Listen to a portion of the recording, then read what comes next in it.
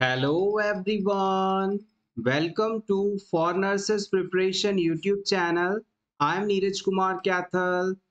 Today is 25 April 2023.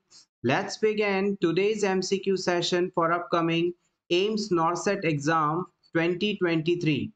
Our first question is The nurse is caring for a client with epilepsy who is being treated with carbamazepine, which laboratory value might indicate a serious side effect of this drug?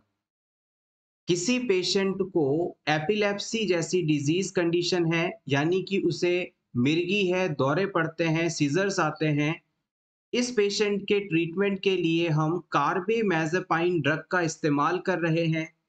अब इस patient जिसे कार्बेमेजेपाइन drug चल रही हो lab test करवाने पर कौन सा रिज़ल्ट ये बताए कि इस पेशेंट में कार्बेमेजेपाइन ड्रग का साइड इफ़ेक्ट डेवलप हो रहा है?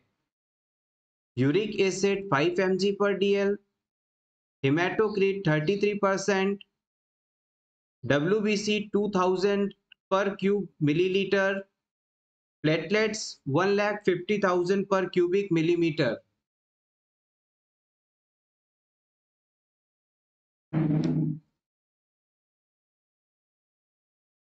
Important question. Yes. Excellent, guys. The right answer is option C. जब भी हम किसी क्लाइंट को एपिलेप्सी के ट्रीटमेंट के लिए कार्बेमेजेपाइन ड्रग दे, देते हैं तो इस पेशेंट के अंदर जो बोन मैरो है, वो सप्रेस हो जाती है बोन मैरो के फ़ंक्शंस कम हो जाते हैं और बोन मैरो का फ़ंक्शन कम होने के कारण डब्ल्यूबीसी का प्रोडक्शन नहीं हो पाता और क्लाइंट में डब्ल्यूबीसी काउंट नॉर्मल से कम देखने को मिलता है। एक बार फिर से समझिएगा, अगर किसी क्लाइंट की लैब टेस्ट रिपोर्ट के अंदर आपको डब्ल्यूबीसी काउंट नॉर्मल से कम मिले तो इसका मतलब है कि इस पेशेंट को यदि आप कार्बेमेजेपाइन ड्रग दे रहे हैं तो इस ड्रग की टॉक्सिसिटी डेवलप हो चुकी है। नेक्स्ट हम बात करेंगे विजुअल एनालॉगस स्केल की। विजुअल एनालॉगस स्केल एस इस स्केल का इस्तेमाल किसी भी क्लाइंट में कितना लेवल ऑफ़ पेन है, इस चीज़ का मेज़रमेंट करने में किया जाता है। किसी पेशेंट को कितना दर्द हो रहा है, कितना पेन उसे हो रहा है, इसे पता करने के लिए विजुअल एनालॉगस स्केल का इस्तेमाल किया जाता है। नेक्स्ट हम बात करेंगे एल्ड्रेट स्कोर के बारे में। एल्ड्रेट स्कोर का इस्तेमाल करके हम किसी भी क्लाइंट में एनेस्थीसिया के लेवल का असेसमेंट कर सकते हैं। किसी क्लाइंट को आपने एनेस्थीसिया दिया और अब इस क्लाइंट में इस एनेस्थेटिक मेडिसिन का कितना इफ़ेक्ट है, इस चीज़ को पता करने के लिए एल्ड्रेट स्कोर का इस्तेमाल किया जाता है। Next question is what action should the nurse take to assess the pharyngeal reflex on a client अगर किसी बच्चे में आपको फेरेंजियल रिफ्लेक्स चेक करने हो तो इसके लिए आप क्या करेंगे? Shine a light towards the bridge of the nose आप इस बच्चे की नोज़ ब्रिज पर लाइट शाइन करेंगे। Option B pull down the lower eyelid हम लोअर आईलिड को नीचे की तरफ़ खींचेंगे। Ask the client to swallow हम क्लाइंट को निगलने के लिए कहेंगे। Option D stimulate the back of the throat with tongue depressor हम इस क्लाइंट के गर्दन के पीछे वाले हिस्से को सॉरी गले के पीछे वाले हिस्से को थ्रॉट के बैकवर्ड पार्ट को टंग डिप्रेसर से स्टिमुलेट करेंगे। यानी टंग डिप्रेसर इस एरिया में टच करेंगे। किसी क्लाइंट में, किसी बच्चे में आपको पेरेंजियल रिफ्लेक्स चेक करना है, गैग रिफ्लेक्स चेक करना है तो आप कैसे करेंगे ये काम The right answer is option D, stimulate the back of the throat with the help of tongue depressor. हम टंग डिप्रेसर की मदद से पेशेंट के माउथ को ओपन करवा कर जो थ्रॉट वाला एरिया है, उसके डीप पार्ट को इस टंग डिप्रेशर से टच करेंगे। जैसे ही हम इस हिस्से को टच करेंगे, वहाँ पर एक रिफ्लेक्स जनरेट होगा, जो कि इस टंग डिप्रेशर को माउथ से बाहर की तरफ़ धकेलने की कोशिश करेगा। यही फेरेंजियल रिफ्लेक्स या गैग रिफ्लेक्स कहलाता है। गैग रिफ्लेक्स हमारी बॉडी का एक प्रोटेक्टिव मैकेनिज्म है, जो कि बिना हमारी इच्छा के अगर कोई भी सब्सटेंस बॉडी में ओरल रूट से एंट्री लेने की कोशिश करता है तो इसकी एंट्री को रोकने के लिए किया जाने वाला प्रोटेक्टिव एक्शन है। इस रिफ्लेक्स के लिए ग्लोसोफेरेंजियल नर्व रिस्पॉन्सिबल है। Cranial nerve number nine responsible है। Next question is when a client with a chest injury is suspected of experiencing pleural effusion The nurse should assess for which typical manifestation of this respiratory problem except इस word पर गौर करके अपना answer select कीजिएगा। एक patient जिसे chest area पर injury हुई थी, छाती पर चोट लग गई थी, इस पेशेंट में कौन सी फाइंडिंग प्लूरल इफ्यूजन की कंडीशन होने पर देखने को नहीं मिलेगी, ये आपको सेलेक्ट करना है। आप इस बात को अच्छी तरह से जानते हैं कि प्लूरल इफ्यूजन का मतलब होता है, जैसे कि मान लीजिए ये हमारे लंग्स हैं और इन लंग्स के चारों तरफ़ एक कवरिंग पाई जाती है। इस कवरिंग और लंग्स के बीच का जो स्पेस होता है, उसे हम प्लूरल कैविटी के नाम से जानते हैं। इस प्लूरल कैविटी के अंदर किसी भी वजह से ब्लड वाटर पस एयर इन सब का एबनॉर्मली एक्यूमुलेशन हो जाना प्लूरल इफ्यूजन के नाम से जाना जाता है। और प्लूरल इफ्यूजन की कंडीशन के होने पर हमें कभी भी मॉइस्ट कफ देखने को नहीं मिलेगा।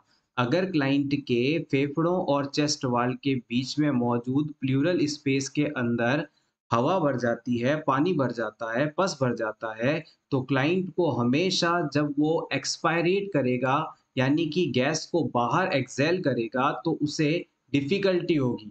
सांस बाहर छोड़ने में उसे प्रॉब्लम होगी। इसके अलावा उसे ड्राई कफ आएगा और नॉन प्रोडक्टिव कफिंग होगी। ये इंपॉर्टेंट चीज़ें हैं जो कि आपको यहाँ पर देखने को मिलेंगी। मॉइस्ट कफ कभी भी प्लूरल इफ्यूजन की कंडीशन में देखने को नहीं मिलता है। आइए आर्ट्रियल ब्लड गैस एनालिसिस से रिलेटेड कुछ इंपॉर्टेंट पॉइंट्स को रिवाइज कर लेते हैं। A B G full form है arterial blood gas analysis test it is use to detect acid base balance हमारी बॉडी के अंदर एसिड और बेस के लेवल में किसी प्रकार का अल्ट्रेशन तो नहीं। इस चीज़ को मेजर करने के लिए ए सैम्पलिंग की जाती है। एबीजी टेस्ट को परफॉर्म करने से पहले एलन टेस्ट किया जाता है। इस टेस्ट के द्वारा जिस एरिया से हम ब्लड सैंपल लेने वाले हैं, उस जगह की ब्लड वेसल्स में ब्लड सप्लाई सही तरह तरीके से हो रही है या नहीं, इस चीज़ को चेक किया जाता है। एबीजी सैंपलिंग की मोस्ट कॉमन साइट होती है रेडियल आर्टरी जो कि आपके हाथ की कलाई में अंगूठे की तरफ़ पाई जाने वाली आर्टरी है। और एलन टेस्ट परफॉर्म करते समय इसी रेडियल और अल्नर आर्टरी की पेटेंसी को चेक किया जाता है। नेक्स्ट हम बात करते हैं एबीजी का जो सैंपल होता है, उसे हम हिपेरेनाइज्ड सिरिंज के अंदर कलेक्ट करते हैं। यानी कि जो सिरिंज होती है, उसमें पहले से एंटी कोगुलेंट हिपेरिन मौजूद होता है। जब हम ब्लड सैंपल इस सिरिंज के अंदर इकट्ठा करते हैं, लेते हैं तो इस रिपेरिन की प्रेजेंस के कारण इसमें क्लॉट नहीं बनते और सही रिज़ल्ट देखने को मिलते हैं। Next important question for upcoming AIIMS NORCET exam a 45 years old client is admitted to the hospital for evaluation of recurrent run of ventricular tachycardia noted on Holter monitoring The client is scheduled for electrophysiology study which uh, the following morning Which statement should the nurse include in the teaching plan of this client? Question की language थोड़ी सी लेंदी है but easy है सबसे अच्छी बात आप अब इस क्वेश्चन के अंदर जो हाईलाइटेड पॉइंट्स हैं उन्हें पकड़कर समझिएगा जिससे आपको क्वेश्चन को सही तरीके से समझने में आसानी होगी सबसे पहले एक 45 इयर्स ओल्ड एक पेशेंट है, जिसे वेंट्रिकुलर टैकिकार्डिया के एपिसोड्स होल्टर मॉनिटरिंग के दौरान नोट होते हैं। यानी कि एक ऐसा पेशेंट है जिसमें हार्ट से रिलेटेड प्रॉब्लम है और हार्ट में कौन सी प्रॉब्लम है, इस चीज़ को पता करने के लिए हम इस पेशेंट की 24 आवर्स की लगातार ईसीजी e रिकॉर्ड करते हैं। और 24 घंटे की लगातार ईसीजी e को रिकॉर्ड करना हॉल्टर मॉनिटरिंग प्रोसेस कहलाता है। जब हम इस पेशेंट की अलग अलग एक्टिविटी के दौरान ईसीजी e को रिकॉर्ड करेंगे पूरे 24 घंटे में तो किस समय और कौन सी एक्टिविटी करने से क्लाइंट के वेंट्रिकल्स का कॉन्ट्रैक्शन बढ़ गया, यानी वेंट्रिकुलर टेकिकार्डिया हुआ, इस चीज़ को हम आइडेंटिफाई कर पाएँगे। अब इस प्रोसेस के दौरान वेंट्रिकुलर टेकिकार्डिया जो देखने को मिल रहा था हमें बार बार इसका और अच्छा स्पेसिफिक स्टडी करने के लिए हमने क्या किया? क्लाइंट को हॉस्पिटल में बुलाया अगले दिन और कहा कि हम आपकी ईपीएस e स्टडी करेंगे, यानी आपकी इलेक्ट्रोफिजियोलॉजी स्टडी करेंगे। अब इस टेस्ट से पहले एज अ नर्स आप इस पेशेंट को इन चारों में से कौन सा ऑप्शन करने के लिए कहेंगे। आपके ऑप्शन नंबर वन है you will continue to take your medication until the morning of this test आप इस पेशेंट से कहेंगे, आपको जो भी मेडिसिन दी जा रही हैं, उन्हें इस टेस्ट के पहले तक आपको लगातार लेनी है, बंद नहीं करनी है।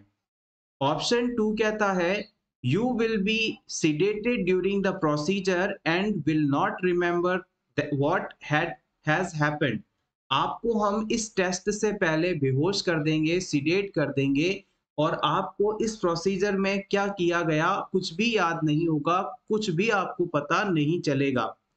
ऑप्शन थ्री कहता है this test is non invasive method of determining the effectiveness of your medication regimen.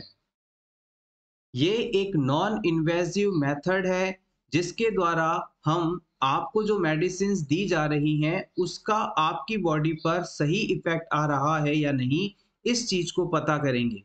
Option four कहता है during the procedure a special wire is use to increase the heart rate and produce a regular beats that cause your sign and symptom इस electrophysiology study के दौरान, हम आपके heart में एक पतला वायर इंसर्ट करेंगे और इस वायर के कारण आपके हार्ट्स में इरेगुलर हार्ट बीट्स जनरेट होंगी, जिसके कारण आप में साइन सिम्टम्स आएँगे और इसके बिहार पर हम ये पता करेंगे कि एक्चुअली आपको प्रॉब्लम कहाँ है और क्या है।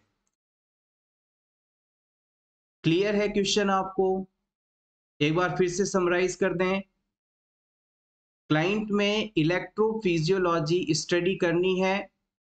जो कि हर्ट की इलेक्ट्रिकल एक्टिविटी को रिकॉर्ड करने के लिए इस्तेमाल होता है। इस पेशेंट में, इन चारों ऑप्शंस में से कौन सा ऑप्शन आप करने की एडवाइस देंगे? यहाँ पर मैं आपको इसका पर्पस लिख देता हूँ। इलेक्ट्रोफिजियोलॉजी स्टडी क्यों की जाती है?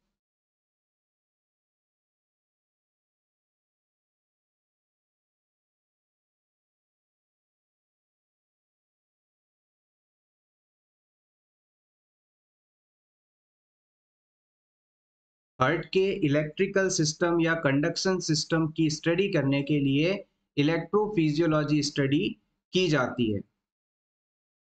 इस क्वेश्चन के अंदर सही आंसर आपको पहले बता देते हैं, उसके बाद वन बाय वन सभी ऑप्शंस को डिस्कस करेंगे। यहाँ पर सही आंसर है ऑप्शन फोर जब भी हम किसी क्लाइंट के अंदर इलेक्ट्रोफिजियोलॉजी स्टडी करते हैं तो क्लाइंट के हर्ट के अंदर एक पतला सा वायर इंसर्ट किया जाता है और इस वायर के कारण हर्ट में अलग अलग heart beats irregular heart beats generate करवाई जाती हैं, जिससे क्लाइंट की बॉडी में साइन एंड सिम्टम्स प्रोड्यूस होते हैं। क्लाइंट के हर्ट की इलेक्ट्रिकल एक्टिविटी को पता करने के लिए इलेक्ट्रोफिजियोलॉजी स्टडी करवाई जाती है, जिसमें हम हर्ट के अंदर एक पतला सा वायर इंसर्ट करके हर्ट में इरेगुलर बीट्स जनरेट करवाते हैं और इन बीट्स को स्टडी करके हम ये डिसाइड करते हैं कि क्लाइंट में कौन सी कंडीशन है और किस सिचुएशन में कैसे साइन एंड सिम्टम्स डेवलप हो रहे हैं। ये आपका सही आंसर है। यहाँ पर जैसे ही हमने कहा कि ये एक इन्वेजिव प्रोसीजर है, यानी इसमें एक पतला सा वायर बॉडी के अंदर इंसर्ट किया जाता है तो आपका ऑप्शन नंबर थ्री गलत हो गया, जो कि ये कह रहा था कि ये एक नॉन इन्वेजिव प्रोसीजर है। और इन्वेजिव प्रोसीजर जब भी करवाते हैं, यानी शरीर के अंदर किसी इक्विपमेंट को इंसर्ट करने वाला प्रोसीजर आप जब भी करवाते हैं, चाहे वो कोई भी हो, हमेशा आपको कंसेंट लेना होता है। ये चीज़ आपको याद रखनी है, ये क्वेश्चन भी फ्रीक्वेंटली पूछा जाता है। और कंसेंट लेने की जो रिस्पॉन्सिबिलिटी है, वो डॉक्टर्स की है, ना कि नर्सेस की। इसके बाद हम बात करते हैं कि इस टेस्ट से पहले हम क्लाइंट को एनपीओ कर देते हैं एनबीएम कर देते हैं। यानी कि क्लाइंट को इस टेस्ट से कम से कम छः से आठ घंटे पहले ना ही कुछ खाने के लिए दिया जाता है और ना ही कुछ पीने के लिए दिया जाता है।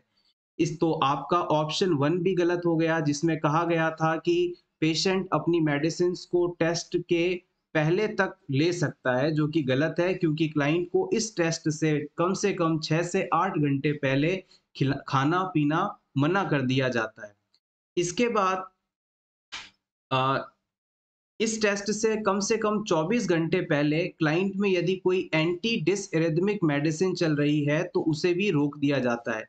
हार्ट में रिदम को कॉन्ट्रैक्शंस को रेगुलर बनाए रखने वाली जो मेडिसिन होती हैं उसे हम बंद करवा देते हैं।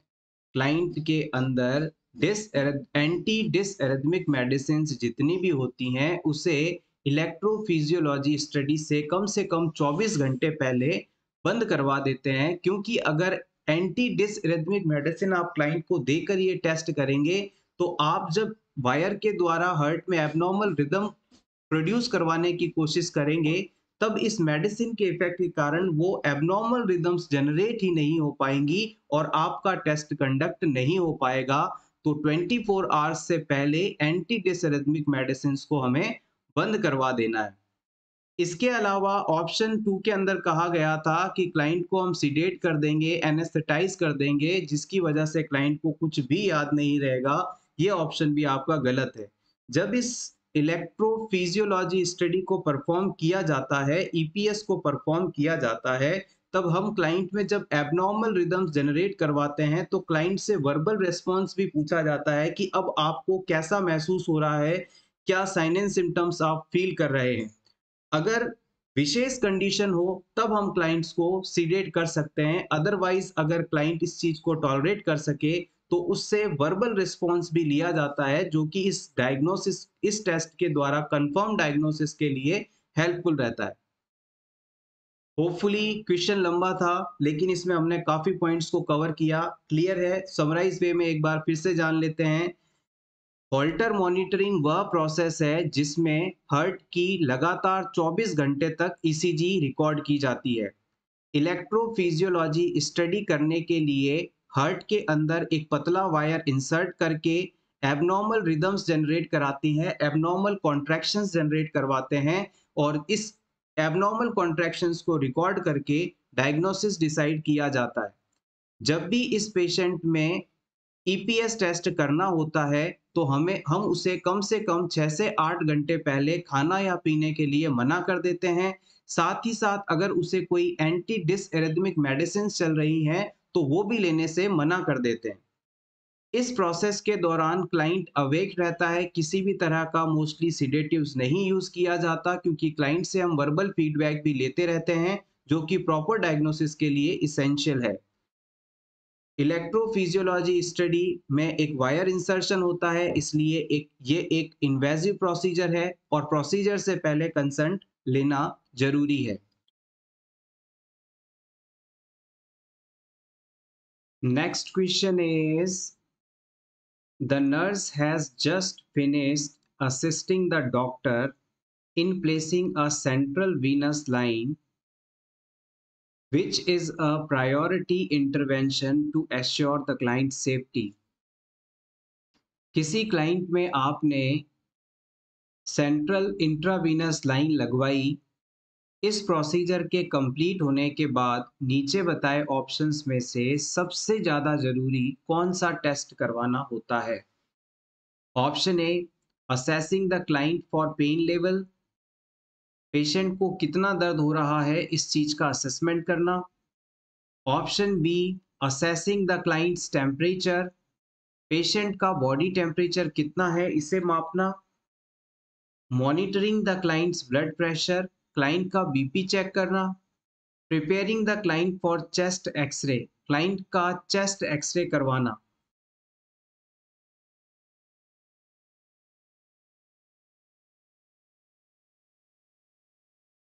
जब भी किसी क्लाइंट के अंदर हम सेंट्रल वीनस कैथेटर लगाते हैं सेंट्रल लाइन लगाते हैं तो इसे गर्दन के पास से इंसर्ट करके हर्ट के राइट एट्रियम तक पहुंचाना होता है।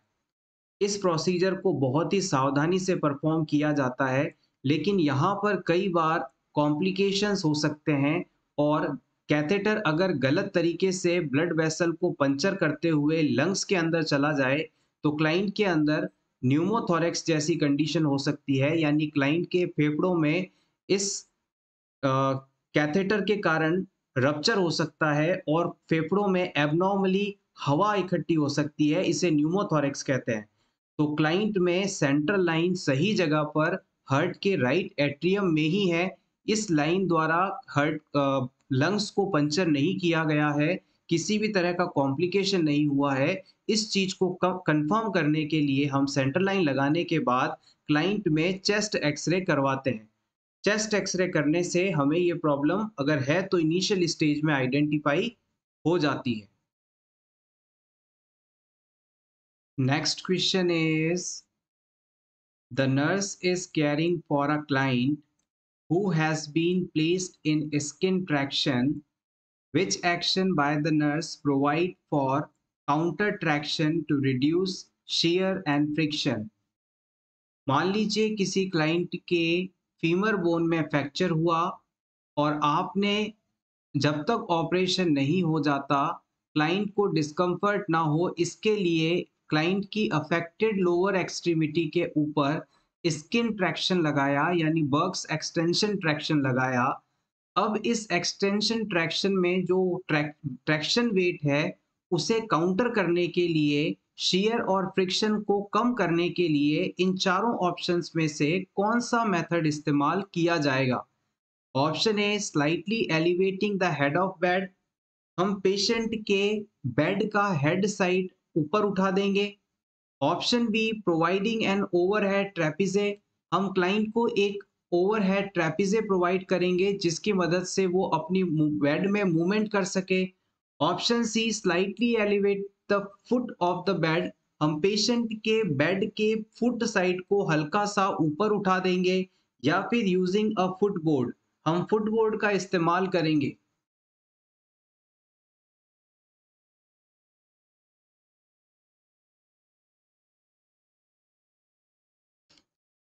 किसी भी बेड के ऊपर ओवरहेड ट्रेपिजे लगाकर पेशेंट इसे हाथों से पकड़कर बेड में अपनी बॉडी को ऊपर नीचे मूवमेंट करवा सकता है। यहाँ पर ये काउंटर ट्रैक्शन के रूप में इस्तेमाल नहीं होगा। क्लाइंट को फुट बोर्ड लगाकर हम उसमें फुट ड्रॉप होने को बचा सकते हैं। पेरोनियल पेरोनियल लव की इंजरी को बता, बचा सकते हैं। अगर क्लाइंट के बेड के हेड साइड पर आप एलिवेशन करेंगे तो इससे कोई फ़ायदा नहीं होने वाला, क्योंकि यहाँ पर जो ट्रैक्शन लगाया गया है, वो पेशेंट के पैरों में लगाया गया है। तो अगर आप इस एरिया के अंदर बेड को हल्का सा ऊपर उठा देंगे तो ये काउंटर ट्रैक्शन का काम करेगा और इससे ट्रैक्शन की वजह से जो शेयर एंड फ्रिक्शन हो सकता है, घर्षण हो सकता है, उसमें कमी देखने को मिलेगी। पेशेंट के बेड के जिस तरफ़ उसके पैर हैं, उस हिस्से को हल्का सा ऊपर उठा देंगे, जिससे कि काउंटर ट्रैक्शन डेवलप होगा और क्लाइंट में घर्षण नहीं होगा इस एरिया के अंदर, शेयर एंड फ्रिक्शन कम हो जाएगा। Next question is which is the most common feature of a child with haemophilia किसी हीमोफीलिया वाले पेशेंट में इन चारों में से सबसे ज़्यादा पाया जाने वाला फीचर कौन सा है? Petechiae haemarthrosis bruising clubbing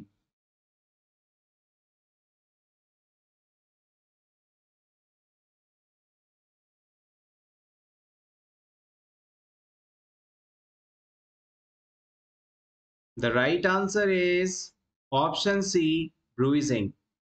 haemophilia जिसे आप रॉयल डिज़ीज़ के नाम से भी जानते हैं यह वह डिज़ीज़ कंडीशन है जिसमें क्लॉटिंग फैक्टर्स की कमी होती है और क्लॉटिंग फैक्टर की कमी के कारण क्लॉट फॉर्मेशन नहीं हो पाता और इन पेशेंट को यदि थोड़ी बहुत भी चोट लग जाए तो बहुत ज़्यादा सीवियर ब्लीडिंग देखने को मिलती है ऐसे पेशेंट्स के अंदर ब्लीडिंग की जो मोस्ट कॉमन सिम्टम होता है या फीचर होता है, वो होता है ब्रूइजिंग यानी स्किन के नीचे मौजूद स्मॉल ब्लड वेसल्स पर हल्का भी दबाव पड़ जाए या थोड़ा बहुत भी वहाँ ट्रॉमा हो जाए तो वहाँ पर ब्लीडिंग देखने को मिलती है। इसे हम ब्रूइजिंग के नाम से जानते हैं। अब स्किन की अपर कवरिंग के नीचे मौजूद स्मॉल ब्लड वेसल्स पर थोड़ा भी दबाव पड़ने के कारण वहाँ पर रप्चर देखने को मिलता है, जिसके कारण वहाँ पर बहुत ब्लीडिंग हो जाती है और क्लॉटिंग प्रोसेस नहीं हो पाने के कारण ये ब्लीडिंग काफ़ी ज़्यादा हो जाती है, जिससे कि स्किन के ऊपर लाल या नीले निशान, काले निशान देखने को मिलते हैं। यही चीज़ ब्रूइजिंग कहलाती है। ये सबसे ज़्यादा देखे जाने वाला फीचर है। इसके बाद हम बात करते हैं कि हीमोफीलिया वाले पेशेंट्स के अंदर जॉइंट एरिया के अंदर भी बहुत ज़्यादा ब्लीडिंग होने का रिस्क रहता है। जॉइंट के अंदर ब्लीडिंग होना हिमे आर्थ्रोसिस टर्म के द्वारा डिनोट किया जाता है।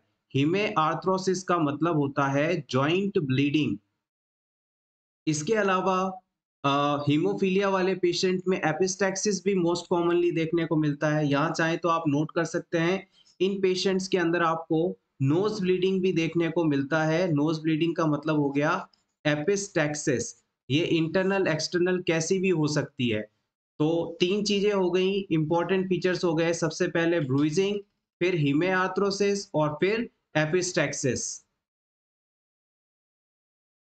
next question is a client found to have tuberculosis is scheduled to go to radiology department for a chest radiograph The nurse should take which action when preparing to transport the client.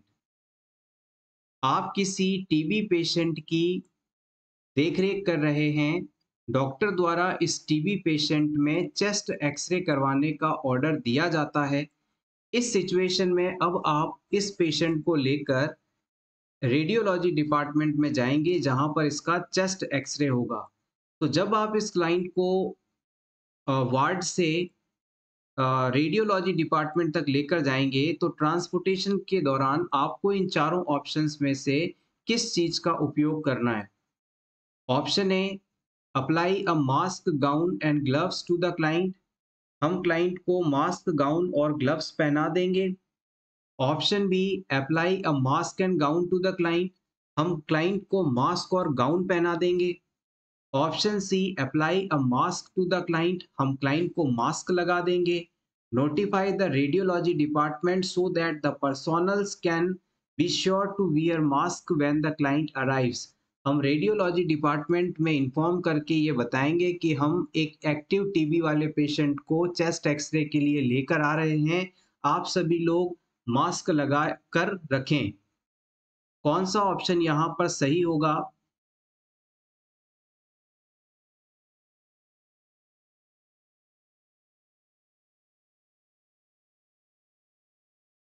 यहाँ पर सही answer है option C.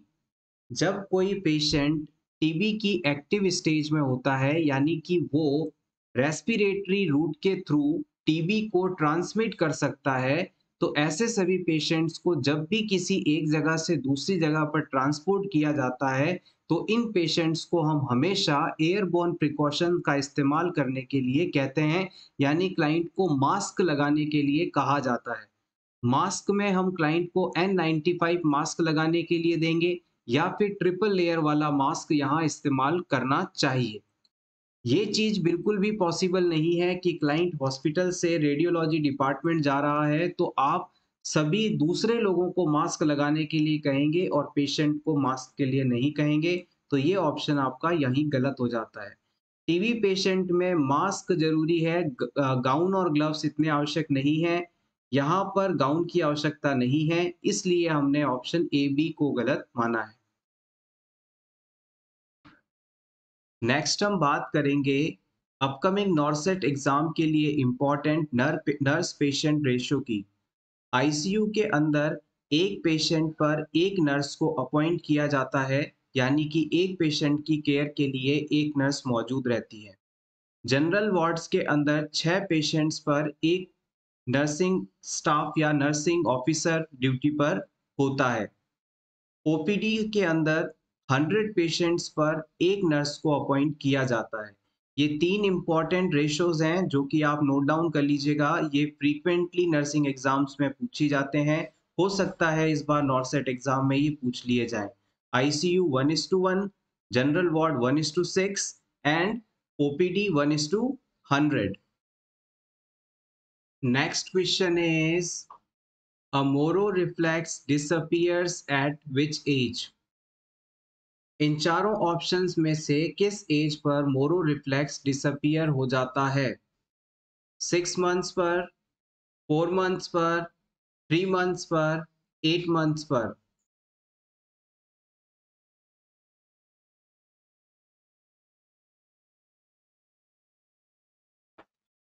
The right answer is option C, three months पर। आइए जान लेते हैं कि मोरो रिफ्लेक्स होता क्या है। मोरो रिफ्लेक्स एक इन्फेंटाइल रिफ्लेक्स है जो कि प्रेगनेंसी पीरियड में 28 से 32 सप्ताह की एज पर डेवलप होता है। जब बच्चा मदर के वुम्ब में होता है और 28 से 32 सप्ताह की प्रेगनेंसी का पीरियड होता है तब इस मोरो रिफ्लेक्स का डेवलपमेंट होने लगता है। और ये रिफ्लेक्स बच्चे के डिलीवर होने के बाद, बच्चे के जन्म लेने के बाद तीन से छह महीने की होने तक डिसअपियर हो जाता है। बच्चे में मोरो रिफ्लेक्स कब शुरू हुआ, कब अपियर हुआ? प्रेगनेंसी के दौरान 28 से 32 सप्ताह पर। और ये कब डिसअपियर हुआ? तीन से छह महीने की उम्र पर। ये पॉइंट्स यहाँ से मोस्ट इंपॉर्टेंट रहेंगे। अब हम बात करते हैं कि इस मोरो रिफ्लेक्स में होता क्या है जब किसी बच्चे को आप अपने हाथों पर लिटाकर अचानक उसे कुछ ऐसा फील कराएँ कि हमने नीचे से सपोर्ट हटा लिया है और अब वो बच्चा नीचे गिरने वाला है तो ऐसी सिचुएशन में ये इन्फेंट क्या करेगा? अचानक से अपने हाथों को बाहर की तरफ़ खोल देगा, यानी एबडक्शन शो करेगा। उसके बाद अपने हाथों को बॉडी के पास लेकर आएगा, यानी कि एडक्शन शो करेगा और फिर रोने लग जाएगा। अगर किसी बच्चे को हम अचानक लॉस ऑफ़ सपोर्ट फील करवाते हैं तो उसके द्वारा तीन मूवमेंट शो की जाती हैं। स्प्रेडिंग आउट ऑफ़ आर्म्स यानी abduction pulling arms in adduction and crying तो ये चीज़ मोरो रिफ्लेक्स है। होपफुली अब आप इस चीज़ को भूलेंगे नहीं। हाथों को फैलाना, हाथों को सिकोड़ना और रोने लग जाना, जब बच्चे को sudden loss of support feel होता है। Next question is the nurse assesses a peripheral intravenous pressing and notes that it is dumb and the tape is loose.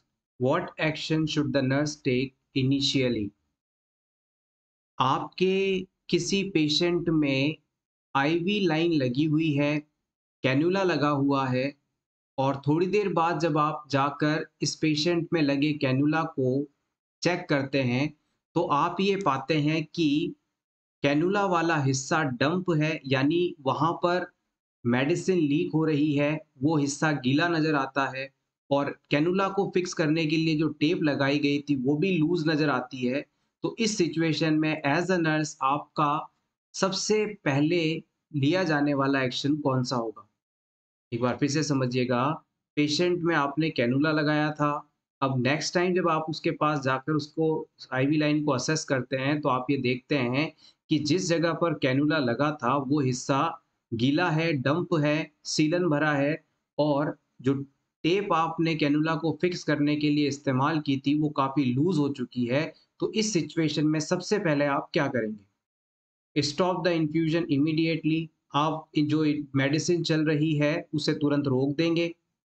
Option B gather the supplies needed to insert a new IV हम नया cannula ivy tape और सभी चीज़ें मंगाएँगे जो कि नई IV line या cannula लगाने के लिए ज़रूरी होंगी। Option C ensure all IV tubing connection are tight हम ये चेक करेंगे कि सभी ट्यूब सही लगी हुई है या नहीं। Option D apply a sterile occlusive dressing हम इस पर एक स्टेराइल ऑक्लूसिव ड्रेसिंग अप्लाई करेंगे।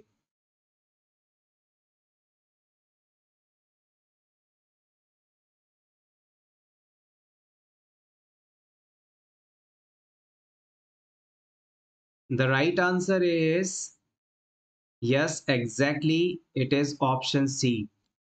Patient में जैसे ही आप जाकर ये देखेंगे कि कहीं पर लीकेज है सीलन है तो सबसे पहले आप कैनुला के अंदर जो आईवी ड्रिप का कैथेटर आपने इंसर्ट किया है उसका कनेक्शन चेक करेंगे उससे टाइट करेंगे कि ये जो ड्रिप का वायर है ये सही से कैनुला के पोर में इंसर्टेड है या नहीं अगर ये कनेक्शन बिल्कुल सही है तो आप सेकंड चीज़ जो चेक करेंगे, वो ये चेक करेंगे कि जिस जगह पर कैनुला इंसर्ट किया गया था, कहीं इंसर्शन साइड से तो लीकेज नहीं हो रहा। अगर इंसर्शन साइड से लीकेज हो रहा है तो फिर तुरंत आप इन्फ्यूजन को रोकेंगे, इस कैनुला को रिमूव करेंगे, नया कैनुला मंगाएँगे और नई आईवी लाइन कनेक्ट करेंगे, नई जगह पर कैनुला लगा देंगे। ये आपका सबसे पहले लिया जाने वाला एक्शन है। Next question is A patient with hemophilia is brought to the emergency department after injuring his knee. The nurse should anticipate the need to administer.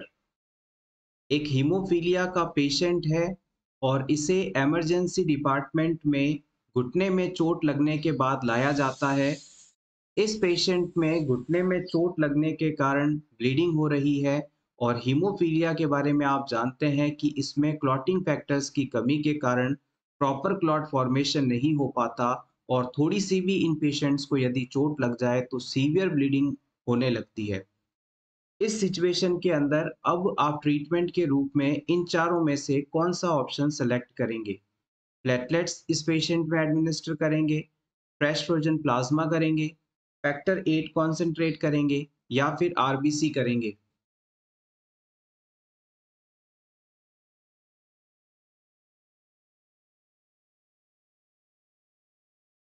यहाँ पर सही आंसर होगा ऑप्शन बी। हम एक यूनिट होल ब्लड से liquid portion को निकालकर centrifuge करके फ्रेश फ्रोजन प्लाज्मा को प्रिपेयर करते हैं। इस फ्रेश फ्रोजन प्लाज्मा के अंदर सभी क्लॉटिंग फैक्टर्स होते हैं।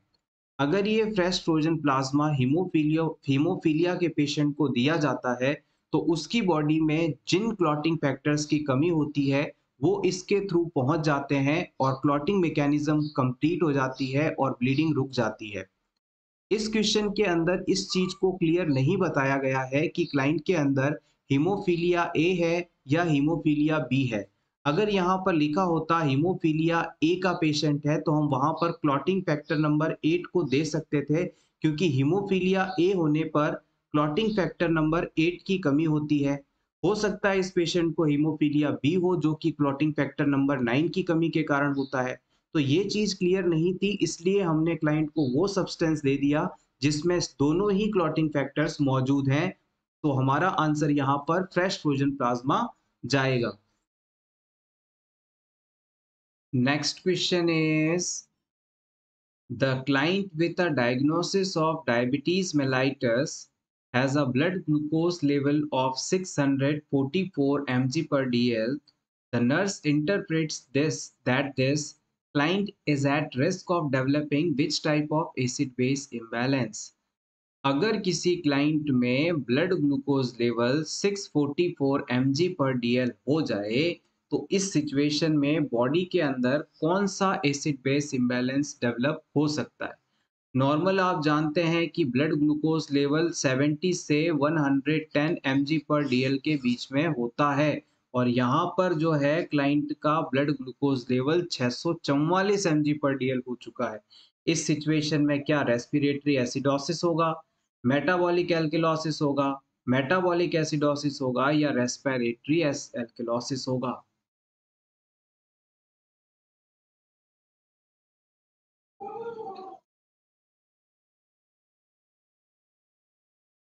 जब हमारी बॉडी में कार्बोहाइड्रेट्स की कमी हो जाती है या बॉडी बॉडी में मौजूद कार्बोहाइड्रेट्स का इस्तेमाल एनर्जी प्रोडक्शन में नहीं कर पाती है तो इस सिचुएशन में बॉडी फैट का मेटाबॉलिज्म करके फैट्स को तोड़कर एनर्जी का प्रोडक्शन करवाती है और इस प्रोसेस के दौरान बॉडी के अंदर कीटोन्स का फॉर्मेशन होने लगता है और ये कीटोन्स जो हैं बॉडी के अंदर एसिडिक एनवायरनमेंट को बढ़ाते हैं, यानी एसिडिक मीडियम क्रिएट करवाते हैं।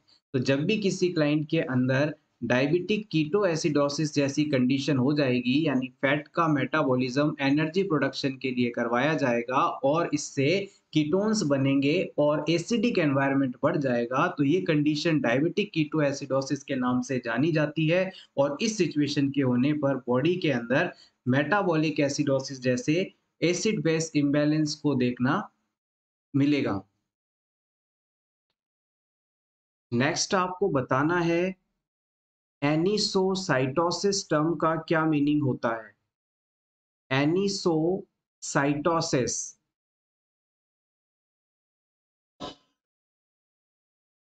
The right answer is unequal size of RBC red blood corpuscles का यदि साइज़ नॉर्मल नहीं है अनइक्वल है तो ये एनिस, एनिसोसाइटोसिस कहलाता है।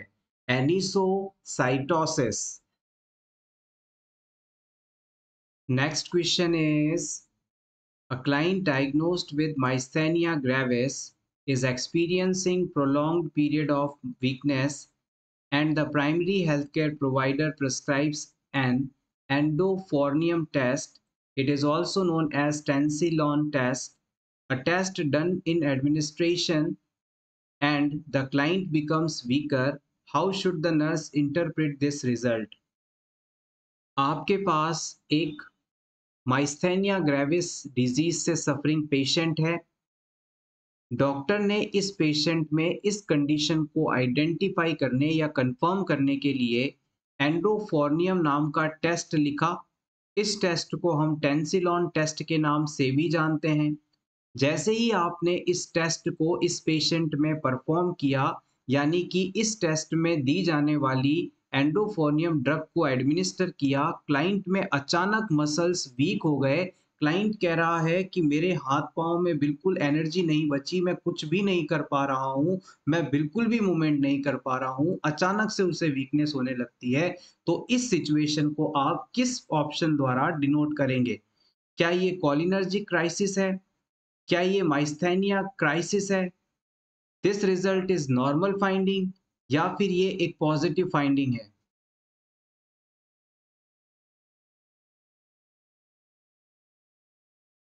Right answer is option A it is a cholinergic crisis आइए इसके बारे में कुछ और पॉइंट्स डिस्कस कर लेते हैं। जैसे ही क्लाइंट में आप एंडोफोर्नियम टेस्ट को परफॉर्म करने के लिए एंडोफोर्नियम ड्रग एडमिनिस्टर करते हैं, अगर क्लाइंट के मसल्स वीक हो जाते हैं क्लाइंट को थकान लगने लगती है तो इसका मतलब है कि क्लाइंट में माइस्थेनिया ग्रेविस कंडीशन नहीं है। क्लाइंट के अंदर इस एंडोफोनियम ड्रग की ओवर डोज हो चुकी है और क्लाइंट के अंदर कॉलिनर्जिक क्राइसिस हो गई है। इस सिचुएशन में हम तुरंत उसे इसका एंटीडोट एट्रोपिन एडमिनिस्टर करेंगे। ये नेगेटिव रिज़ल्ट कहलाता है। अगर इस मेडिसिन को एंडोफोनियम को एडमिनिस्टर करने के बाद अचानक क्लाइंट आपसे ये कहे कि उसके मसल्स पहले से ज़्यादा पावरफुल हो गए हैं, यानी वो अपने मसल्स को बेहतर कंट्रोल कर पा रहा है, उसे अच्छा महसूस होने लगता है तो इसका मतलब है कि क्लाइंट को माइस्थेनिया ग्रेविस डिज़ीज़ है और ये कंडीशन माइस्थेनिया क्राइसिस के नाम से जानी जाती है। ऐसा होते ही हम टेस्ट को पॉजिटिव मानेंगे और क्लाइंट को और ज़्यादा एंडोफोनियम ड्रग दिया जाएगा ताकि इसका ट्रीटमेंट हो सके। माइस्थेनिया ग्रेविस कंडीशन का मेन कारण एसिटाइल कोलिन नामक न्यूरोट्रांसमीटर की कमी का होना होता है और इस कंडीशन के होने पर क्लाइंट में पेटोसिस जैसी फाइंडिंग अर्ली स्टेट में देखने को मिलती है। पेटोसिस का मतलब होता है कि क्लाइंट चाहकर भी अपनी आईलिड्स को ओपन नहीं रख पाता। ये कंडीशन पेटोसिस है। Next question is all of the following are plasma proteins found in blood except one इन चारों ऑप्शंस में से उस ऑप्शन को सेलेक्ट करें जो कि प्लाज्मा प्रोटीन नहीं है. Albumin globulin myosin fibrinogen blood का लिक्विड पोर्शन प्लाज्मा कहलाता है. और इन इस प्लाज्मा के अंदर कौन सा प्रोटीन नहीं पाया जाता, ये आपको बताना है The right answer is option C. हमारे ब्लड प्लाज्मा के अंदर एल्ब्यूमिन ग्लोब्यूलिन और फिब्रिनोजन जैसे प्रोटीन पाए जाते हैं यहाँ पर ब्लड प्लाज्मा के अंदर सबसे ज़्यादा पाया जाने वाला प्रोटीन है albumin protein it is a most abundant type of protein found in blood plasma albumin protein की स्ट्रक्चर छोटी होती है, लेकिन ये अमाउंट में सबसे ज़्यादा होते हैं। एल्ब्यूमिन प्रोटीन के द्वारा ऑनकोटिक प्रेशर को मेंटेन करके रखा जाता है, और अगर हमारे शरीर में एल्ब्यूमिन प्रोटीन की कमी हो तो बॉडी के अंदर एसाइटिस जैसी कंडीशन डेवलप हो सकती है एडिमा डेवलप हो सकता है। मायोसिन की बात करें तो मायोसिन एक मसल फाइबर में पाया जाने वाला प्रोटीन है और मसल्स के अंदर जो टोटल प्रोटीन होता है, उसका लगभग 45 परसेंट मायोसिन ही है। यानी हम कह सकते हैं कि हमारे मसल फाइबर्स के अंदर सबसे ज़्यादा पाया जाने वाला प्रोटीन टाइप है myosin protein next question is a child is admitted to the hospital with a diagnosis of rheumatic fever the nurse reviews the blood laboratory findings knowing that which finding will confirm the livelihood of this disorder. किसी बच्चे को hospital में rheumatic fever की suspected diagnosis के हिसाब से admit किया गया इन चारों ऑप्शंस में से एज अ नर्स आप उस ऑप्शन को सेलेक्ट करें जो ये बताता हो कि क्लाइंट को रिमेटिक फीवर है।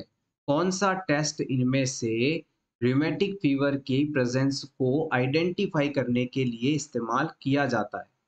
Option A increase anti streptolysin O titre decrease haemoglobin count increase leucocyte count decrease erythrocyte sedimentation rate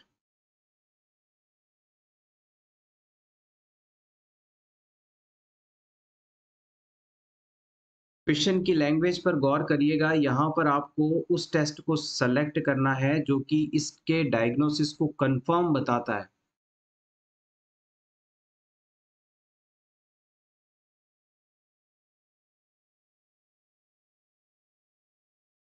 अगर किसी बच्चे को स्ट्रेप्टोकोकल इन्फेक्शन हुआ हो, गले में बैक्टीरियल इन्फेक्शन हुआ हो, और उसका अगर प्रॉपर ट्रीटमेंट ना हो तो ये बैक्टीरिया बॉडी के अलग अलग हिस्से, जैसे कि हर्ट जॉइंट आदि में जाकर इन्फेक्शन कॉज करता है और इनकी इन्फ्लामेशन करवा देता है, ये चीज़ रिमेटिक फीवर के नाम से जानी जाती है। और इस चीज़ को आइडेंटिफाई करने के लिए हम एंटी स्ट्रेप्टोकोकल एंटीबॉडीज़ की प्रेजेंस को ब्लड में आइडेंटिफाई करते हैं। अगर बच्चे में ये एंटीबॉडीज मिलते हैं तो इसका मतलब है कि बच्चे को रिमेटिक फीवर है। और इसे पता करने के लिए हम ए एस ओ टाइटर का इस्तेमाल करते हैं। Anti streptolysin O titer test के द्वारा हम स्ट्रेप्टोकोकल बैक्टीरिया के अगेंस्ट बनी एंटीबॉडीज को आइडेंटिफाई करते हैं, और अगर ये एंटीबॉडीज ब्लड में पाई जाती हैं तो हम ये कंफर्म कह सकते हैं कि पर्सन को रूमेटिक फीवर है। नेक्स्ट क्वेश्चन एडमिनिस्ट्रेशन और मैनेजमेंट के 14 प्रिंसिपल्स जो थे, वो हेनरी फैल के द्वारा दिए गए थे। एडमिनिस्ट्रेशन और मैनेजमेंट के 14 प्रिंसिपल हेनरी फैल द्वारा दिए गए थे। Elements of nursing administration and management given by Luther Gulick nursing administration और मैनेजमेंट के जो एलिमेंट्स थे, जिसे आप पॉस्को डी रब ट्रिक द्वारा याद रखते हैं, वो लूथर गुलिक द्वारा दिए गए थे। next question is a client was admitted to the hospital 24 hours ago after sustaining blunt chest trauma which is the earliest clinical manifestation of acute respiratory distress syndrome the nurse should monitor for किसी patient के chest पर चोट लगी थी छाती पर चोट लगी थी 24 घंटे पहले और अब इस पेशेंट में एक्यूट रेस्पायरेटरी डिस्ट्रेस सिंड्रोम यानी एआरडीएस जैसी कंडीशन का डेवलपमेंट हो सकता है। इस चीज़ को आइडेंटिफाई करने के लिए इन चारों ऑप्शंस में से उस ऑप्शन को सेलेक्ट करें जो कि एआरडीएस का अर्लीस्ट सिम्टम हो। ऑप्शंस आर हैजीनेस और white out appearance of lungs on chest radiograph chest X-ray करवाने पर chest X-ray image haziness show होगी वाइट आउट अपीरियंस शो होगी। Option B diffuse crackles and rhonchi on chest auscultation chest area पर stethoscope की मदद से sound सुनने पर अस्कल्टेट करने पर आपको क्रैकल्स और रॉकी साउंड सुनाई देंगे। Option C increase in respiratory rate from 18 to 30 breaths per minute client की रेस्पिरेशन की रेट 18 से 30 ब्रीड्स पर मिनट तक हो जाएँगी। Option D cyanosis with accompanying pallor client को साइनोसिस और पैलर जैसी कंडीशन डेवलप होगी।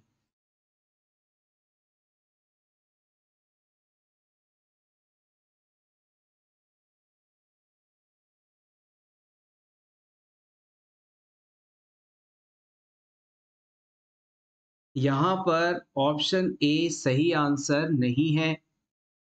ना ही ऑप्शन बी सही आंसर है। अब आप अपना आंसर ऑप्शन सी और ऑप्शन डी में सेलेक्ट कीजिएगा।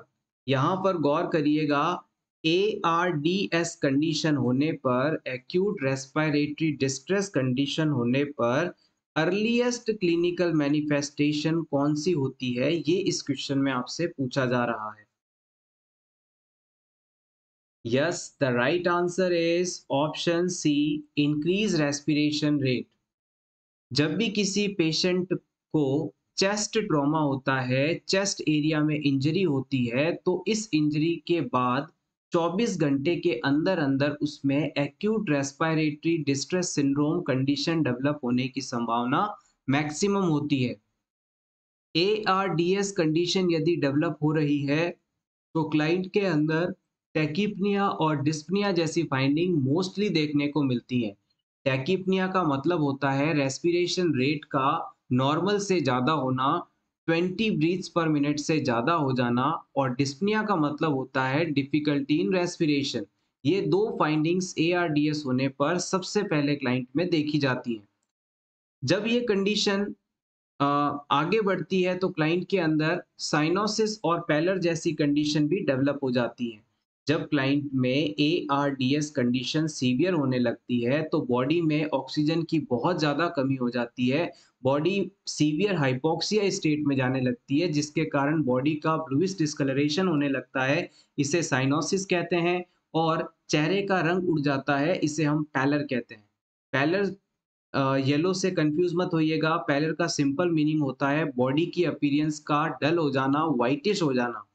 ये दो चीज़ें हैं जो कि एआरडीएस के पेशेंट में लेट स्टेज में देखने को मिलती हैं। और अर्ली स्टेज में क्या देखने को मिलेगा? टैकिपनिया और dyspnoea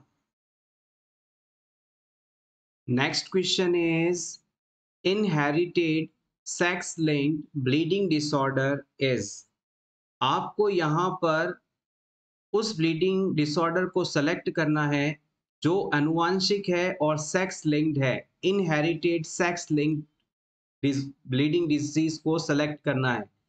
इज़ दैट हिमोफीलिया और थैलेसीमिया और सिकल सेल डिज़ीज़ और purport yes exactly excellent guys option is absolutely correct haemophilia is a inherited sex link bleeding disorder haemophilia is a inherited sex link bleeding disorder